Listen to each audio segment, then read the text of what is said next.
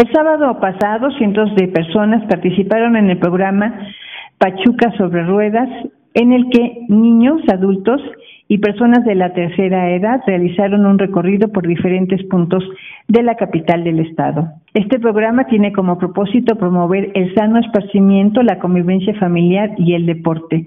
Por tal motivo, en cada edición se suman más participantes y para la reciente presentación los paseantes acudieron vestidos de rojo y blanco, colores alusivos al mes del amor y la amistad.